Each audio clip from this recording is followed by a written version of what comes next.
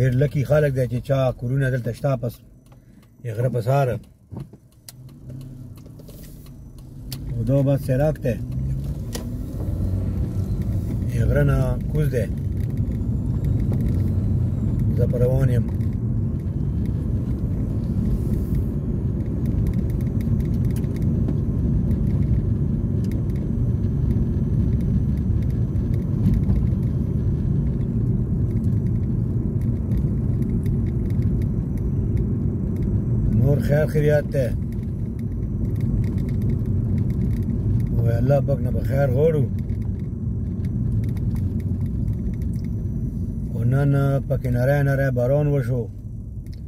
نی مریض لګیا و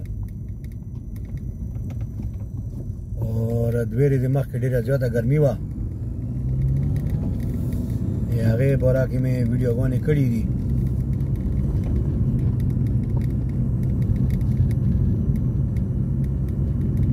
دا بس تقریبا د غره سراک لږ غونې پاتې دی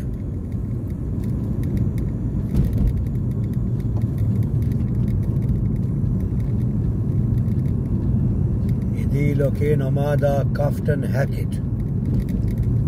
بس دی غره سره راک اوس بالکل غره لمنه تا راورسیدم او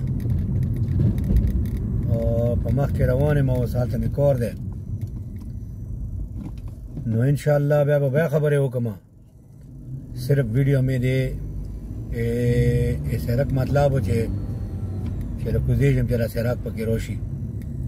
سلام علیکم